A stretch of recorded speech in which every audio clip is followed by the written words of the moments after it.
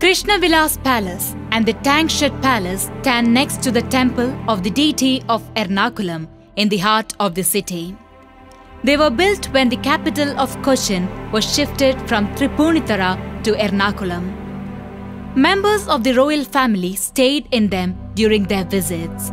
Initially, the princesses preferred the Tankshed Palace situated close to the temple pond, but later the practice stopped.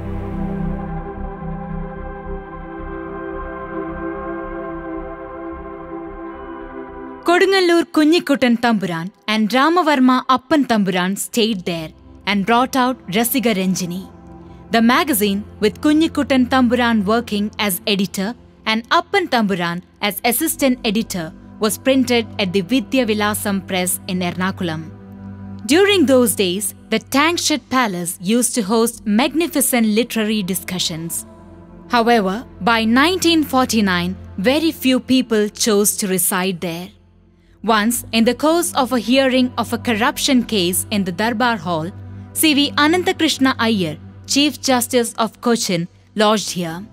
The Madras High Court Judge M.C.B. Koman, too, has stayed in the palace. It is believed that the palace got its name because it served as a storehouse for military equipment during wartime. In 2000, the Tankshed Palace was brought by Bharatiya Vidya Bhavan.